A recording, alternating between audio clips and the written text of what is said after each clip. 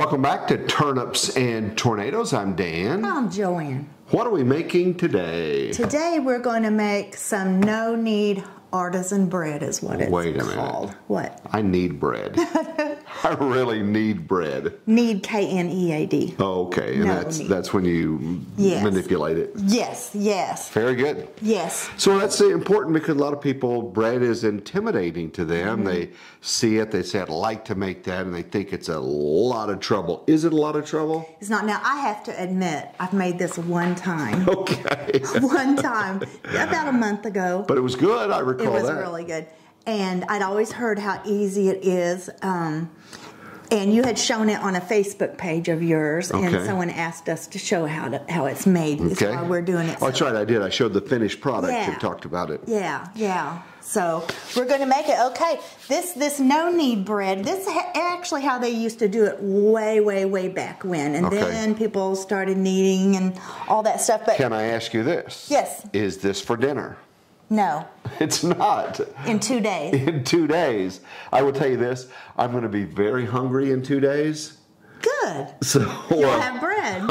bread to go. So uh, you make it and then you wait to make it. Yes, you, you can make it ri- immediately. It's just not as good, and the long fermentation is what takes the place of the kneading. Okay. So you could do it the other way, but it wouldn't be as good. Okay, we're going to be So, patient. we're going to be patient. This is going to be a long video, isn't it? yeah, we're going to like Just talk. We're gonna like yeah do movie reviews during that time and all kinds of things. So we're going to make it, and then we're going to uh, wait, and then we're going to come back. But you won't have to wait two days Yes, for it. All right, yes. let's we'll get come back. started. So we'll be wearing different clothes when we bake it. Hopefully in two days. I You don't know. I hope You don't So know. let me tell you, a guy in New York City put this together, and then a guy Mark Bittman kind of changed it around a little to make it easier for the home cooks. Wow. And he did an article about it in the New York Times. Let's see, let me look at my two in 2006. Okay. Uh, his name's Mark Bittman. If you ever are looking for good recipes, he has some really good cookbooks also. Interesting. I really like him. Lots of plant-based recipes, but not all plant-based. So, yeah. So, okay. Let me see what else. we- What this does, I'll tell you this. We'll get nerdy here. The long rise aligns the dough's gluten molecules with each other to produce a strong elastic network. And this is possibly because of the wetness of the dough. It's a very wet dough. You know how I make um, I make pizza dough all the time. Mm-hmm. You do. Sort of thing. Like if you try to throw my pizza dough up in the air, because it's a very high hydration dough, this Right. is the same. Okay. Yeah, you'd end up with dough, yeah, going down your face probably. So anyway, alrighty. so Um, you've done your research on this. You've looked I it up. I did do a little bit because I was curious how long ago. I'd been hearing about it forever, and I just didn't do it. For, I'll tell you why I didn't do it because the best way to do it is to have a Dutch oven, and my Dutch oven is a Le Creuset oven. I've had it probably 20 years, Mm-hmm. and the handle on it is not metal. Where is that? It's down here in this cabinet. Okay.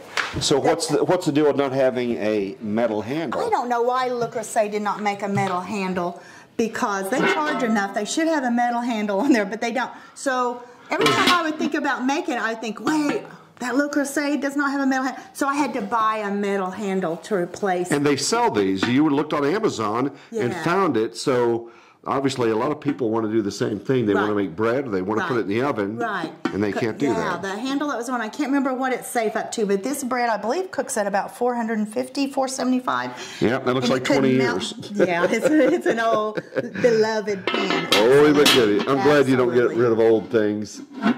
You'd be single. All right. No, I don't do that.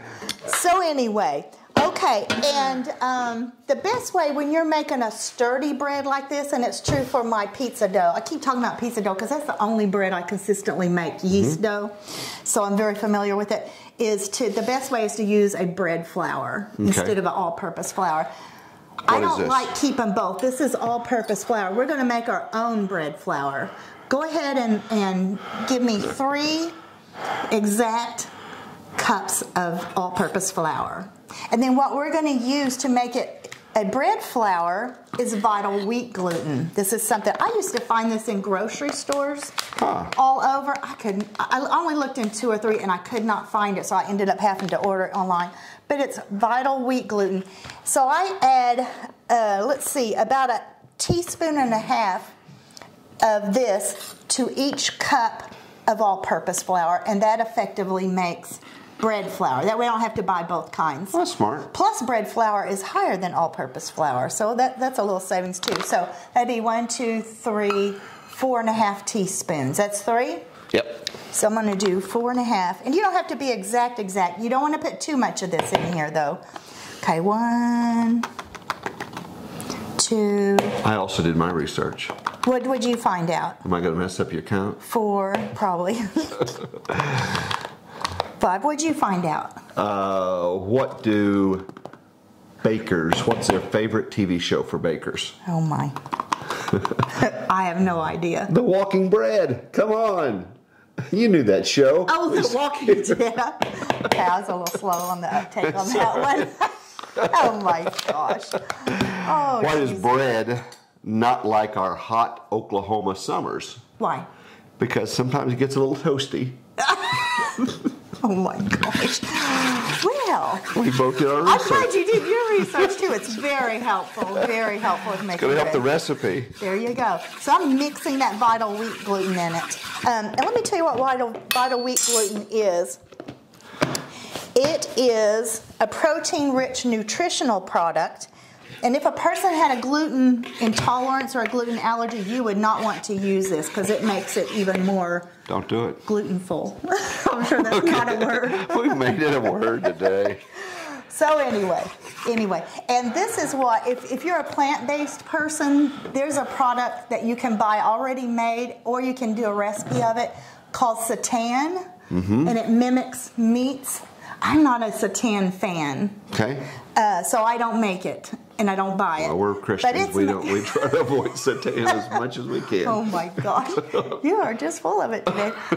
So I think that's maybe why I couldn't find it. Like you'd use Ah. a lot of this, where I use very little. If you're trying to make seitan, I'm thinking it would take a lot of Must. this. It must. So that must be why I couldn't find it. So, Okay, so you've got go. three cups of flour. And some people said if you put in four teaspoons of the vital wheat gluten, take out before that four teaspoons of the flour. Oh, that's two. Yeah. Bread's not that, not that, yeah, I don't worry about that. Okay, and we're gonna add two teaspoons of instant yeast or rapid rise yeast, sometimes they call it. okay. And then, Cool. what did I do with my little measuring I threw it over here. Oh my, oh, okay, good. Mm. Okay, I'm just gonna clean up my shirt here. Oh boy. This Oh boy. This is how I cook, okay? That's going to be worth some comments. By the way, we appreciate your comments. Jo Ann's been trying to get back into the old episodes and try to answer those. And so we're, we're trying to get better at responding to your mm-hmm. comments. But just a shout out, we want to say Mm-hmm. Yeah, thank we watch them pretty closely when the for the first two or three days, and then on the older ones, it's hard to remember to go back and. So what do we do when we get comments? We try to listen to them because somebody, they got tired of Yeah. hearing this. That's why I'm using a plastic bowl. they got tired of the uh, microphones. They thought they were a little echoey, so we bought microphones. We got the overhead camera now when she's at the stove. So we are listening, and we also want suggestions on what you'd like us to make next. And a lot of gardening questions. Uh, last episode, we were out in the garden. We'll try to do more out in the garden. Strawberries are busting out. I'm distracting you. You want to get That's back to the okay. recipe. That, no, I'm in no hurry. No Okay. hurry. This one, no, no I hurry. am because in two days I get bread. So Or three. You can keep it up to three days. let's just make it a two-day bread. It gets a more yeasty flavor, Yeah. and it might have more holes in the bread the longer you do it. Which that sounds like a bad thing. It's a good thing. It's a good thing unless you're making like Peanut, butter jelly. that is so true. It gets- drip, drip. it gets all drip. messy. Okay, now we're going to add two teaspoons of kosher salt. Do you know why I say kosher salt? I have no idea. Because if you use table salt or any fine salt, it's going to measure totally different than kosher Oh, really? salt. Totally. So they're bigger chunks. Yes, and so the kosher salt takes up more room, so you need more of it. Makes um, sense. If yeah, so we're going to do two teaspoons, and bread is not good if you undersalt it. I do not like salty things at all. Teaspoons or table? teaspoon. Teaspoon. Two Teaspoons are smaller. Yes, they are. Okay. You're really getting into the cooking thing. I love it. I'm just, I love it. I'm picking it up so fast. And sometimes I look at a recipe and it doesn't say table salt or fine salt or kosher salt or large flake salt. Well, you're just kind of left to your own devices then. It, it is, you know, it sure is nice when it says which kind because it makes a, it, supposedly it's about two times the amount of kosher salt Oh. instead of Now, that's table salt. That's a lot of difference. You could also make it with one and then write it down, and Yes. if it was too salty, you'd go, Yes, "Oh, okay." yes. You do that on your recipes. You modify I, them I, I sometimes. hardly ever. I try to make myself do the recipe according to how it's written first. And then- Sometimes I even fail at that. Oh, you know what? I think I'll add. Yeah.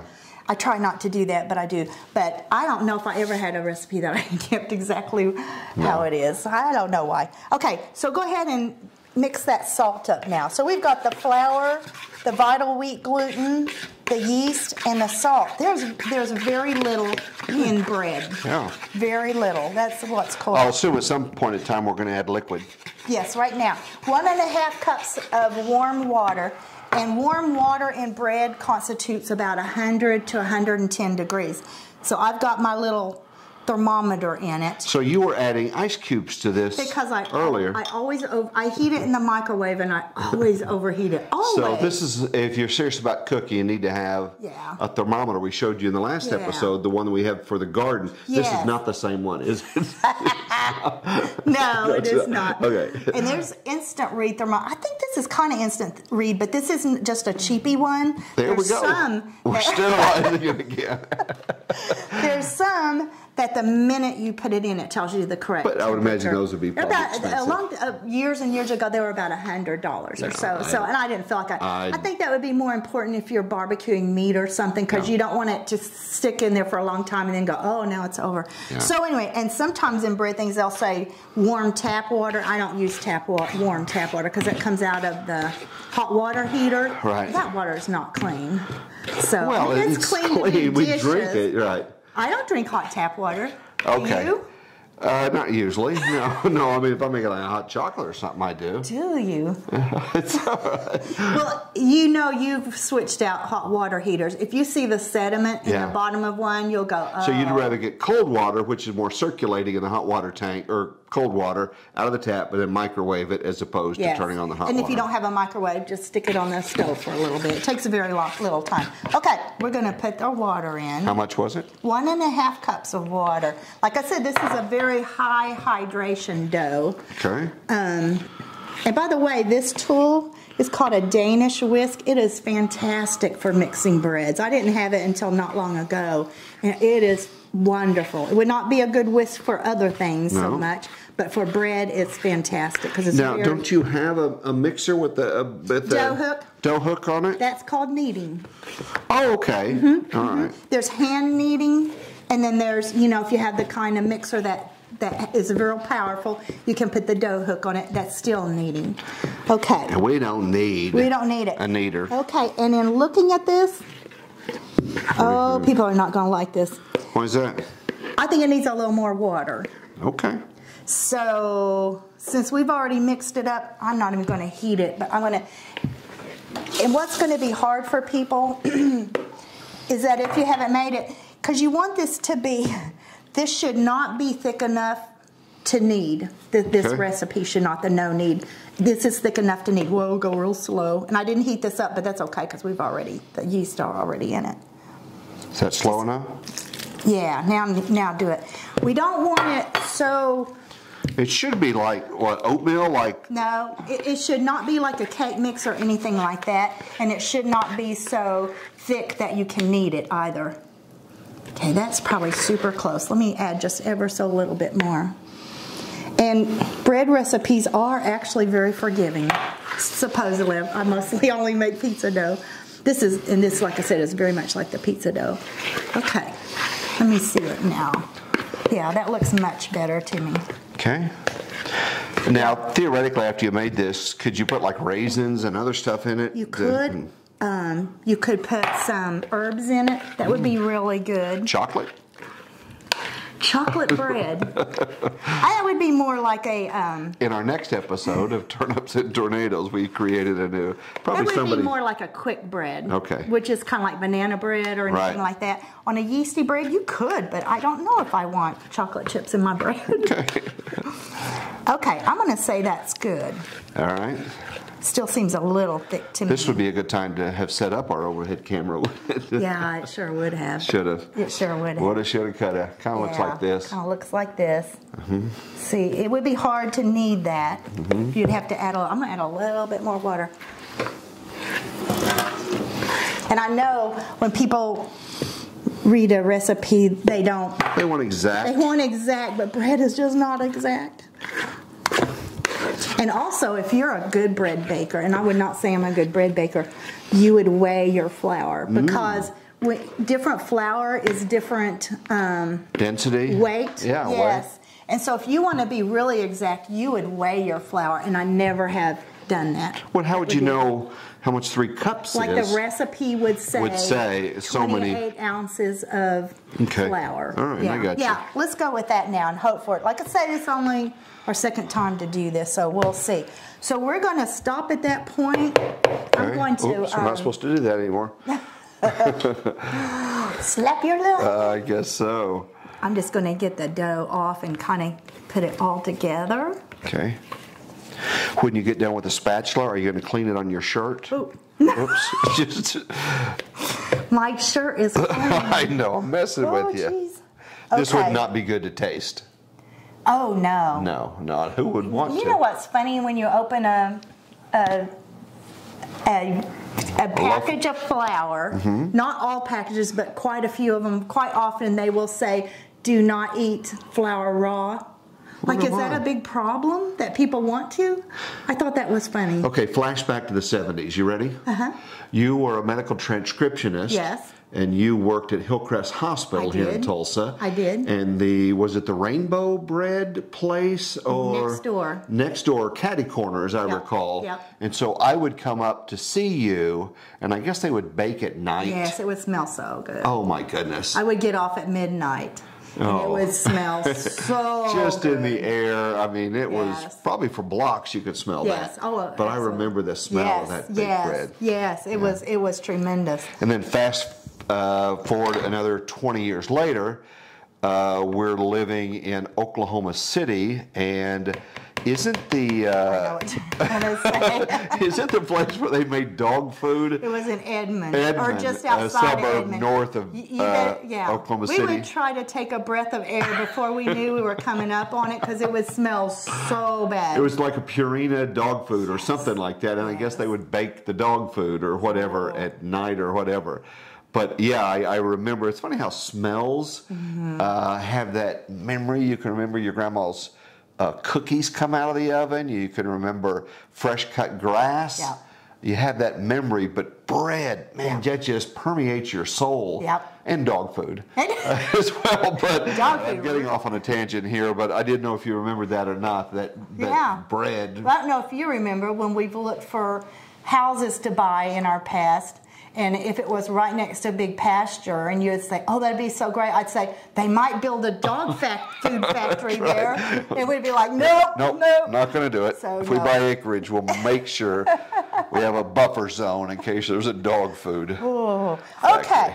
Now let me look here and see. Okay, so all I'm going to do, you could make the bread right now, but it just wouldn't be nearly as good. So I'm going to put saran wrap on this, and I'm going to put it in the fridge, and it's going to sit there for two to three days. Wow. And then we'll come back and we'll make the bread. Now, when you put saran wrap on, do you do it the way you did the other one, where you kind of pooch it down in there? This should not, you know, some breads you actually. Well, if it's a bread you need, you would put. I could put a little bit of olive oil on it. To you don't want it to get a, a, a dried out crust on Okay, it. so the olive oil, when you put on stuff, that's to keep it from getting, Getting crusty and hard. Uh-huh. You don't care on this. We're just Yeah. going to put cellophane Yeah. over it and put this in the Yeah. fridge and patiently wait. I'd say two days instead and, of and if I were doing a bread that we had kneaded, I would actually put all, some oil on it. No, I would put it in a clean bowl, put oil in it, plop the, the you know, it would be Ah. much more firmer consistency and then turn it over so it had oil on all sides and it wouldn't stick to the bowl. Okay. This is different. All right. This is different. Sounds good. So we're going to be back in two days, apparently. Yeah, two or three. I'd say two. You want bread? two days we'll be back. It's not going to be three. Uh, in two days we'll be back. And uh, again, thanks for your comments. Thanks for subscribing and liking. We'll see you in two days. Okay, it's been a couple of days that the no knead dough has been in the fridge. I'm gonna go ahead and take it out. I went ahead and heated up a heating pad on about medium. I started doing this many years ago for my pizza dough. It helps it to warm up a whole lot faster. Then after it gets a little warm, I'll turn it down to low and it'll be on this heating pad for probably about an hour to an hour and a half to get to a temperature that makes it easier to work with and that it will go ahead and be able to rise. So we'll come back, uh, we'll be ready to go ahead and shape the dough and put it in a pan. I've had the oven preheating at 450 for about 30 minutes before we we also put the Dutch oven into the oven with the lid on during that preheating process. We're at about 30 minutes now, so I'm going to go ahead and dump my dough out. I am a little ner- as I mentioned at the first of this. This is only my second time to make this, so um, and I did add some extra water when I put it together, and now I'm thinking, did I do the right thing? So we'll see. It may be a little loose. We'll see. So we're just going to dump it onto this. I prepared the surface with probably about two to three tablespoons of all-purpose flour, and we're just going to dump this in. Well, it's looking pretty good. I think we're going to be okay. Okay, yeah, it's kind of holding its shape some. So basically what we're doing is kind of deflating it now. And I'm gonna put a tiny bit of flour on top of it too. And basically we're just gonna make some folds, fold it onto itself. So this is sort of the deflating part. And you don't have to, this is a rustic loaf, so you don't have to really worry about it. It's not gonna be a perfect, if it's lopsided or anything like that, you just get more crusty parts on it, so it's all good. Okay, that looks pretty good to me. So what we're gonna do now is we're gonna try to, um, I have a parchment paper here. You do have to have parchment paper to do this no knead uh, dough because this is what it's gonna cook on. Um, okay, so I'm gonna go ahead, kind of plop it onto this parchment paper. And you could kind of mess with it a little bit. Now I'm gonna go to the oven. I'm gonna get that. This is gonna be a screaming hot Dutch oven. So I'm gonna go ahead and get that out of the oven.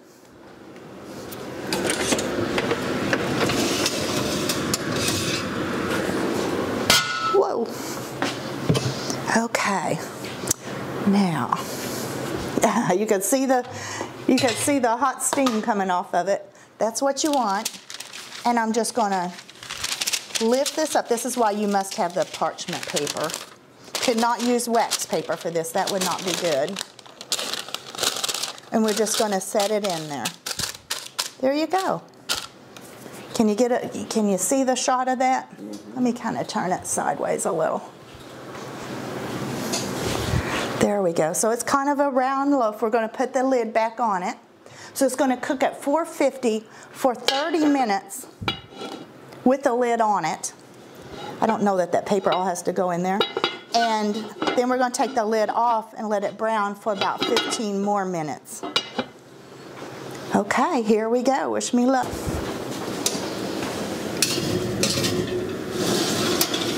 Okay, I'm gonna set my timer for 30 minutes. Okay, 30 minutes have passed. We're gonna take the lid off of the bread. Now we'll be able to see if it did rise. Oh, it looks so pretty.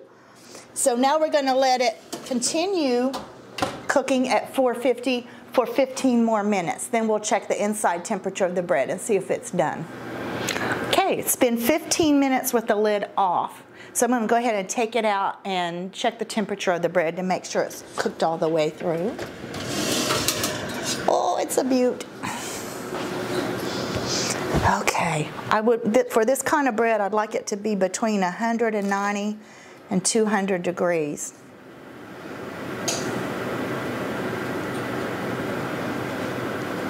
Oh yeah. We're good. 200 on the dot. Okay, so I'm going to go ahead and take it out of the pan. This bread, it's only second time I made it, but I'm convinced it's like indestructible. Not bad. Now, if I would have wanted um, the shape, I could have used a razor and made, uh, uh, what do they call it? Anyway, a cut to where that's where the bread would rise. But I kind of like, because you get more crusties if you let it just do its own expansion. But we'll come back when it, we need to let it sit for 30 to 60 minutes uh, to cool off or it messes up the crumb of the bread if you cut it right away. So we'll be back and we'll see how it tastes. So, after waiting two days. oh, I thought you meant for it to cool off. and for it to cool off. Please Yes. tell me it's ready. We waited about 30 minutes. We really should wait about an hour. Okay. But we're just going to do it at 30 minutes. Let's go for it. So- okay, let's give this a shot. Listen to that crust. Hello. Isn't that awesome? It is. You want an end piece or the I'm thinking in piece. In piece has a lots of crusties. Yeah. So what's nice about this bread is that slow fermentation makes the holes in the bread. That's a good thing. Yeah. That's a great thing. No starter. You don't need a starter. You don't need to get it from somebody else. You don't need to knead it. Right. And uh, I don't say it's foolproof, But it's darn close to it. Yeah. You know, I added that extra water and then I kind of got worried like, oh, should I have done that? But bread, I am no super experienced bread maker by any means. Um, but this just seems so easy. So easy. Okay. And this stuff is so expensive in the store if you buy artisan bread with the holes It and all really that. is. Well, this is fantastic. You Yeah, give it a bite? shot. I'll, I'll do this other piece. Okay. Give me just a minute. So again, thank you for subscribing. Really appreciate that. Thank you for liking it. Really appreciate when you share it. That's how this channel continues to grow. Also the comments, and also now we have a Gmail address, which is on the screen, and a Twitter account. Later we'll get Instagram and Facebook, but uh, we're slowly growing this as we get time. But right now we're eating. Yes, and if you have any any comments about bread making, whether I'd love to know how many people actually do their own bread making. That would be really interesting to All me. we're going to eat up, guys. Thank you for watching, and we'll talk to you next time. Thank you. Oh, worth the wait. So good. You're good, kid. So good. So good. This could be lunch. Mm, it is going to be lunch. What? Part of our lunch. Oh, good.